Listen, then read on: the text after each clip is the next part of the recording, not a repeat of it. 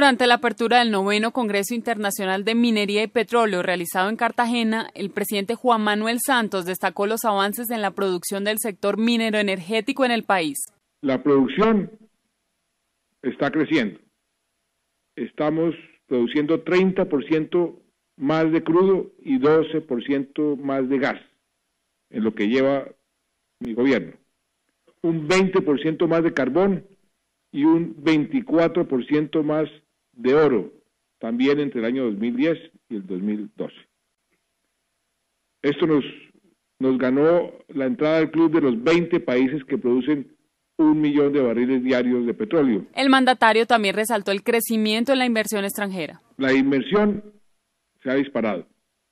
Estamos recibiendo ocho veces más inversión extranjera directa que hace 10 años.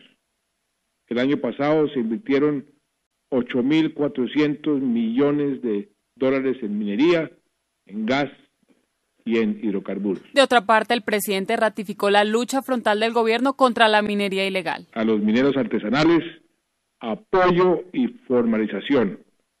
A las empresas que operen como las que aquí están representadas por ustedes, condiciones para invertir.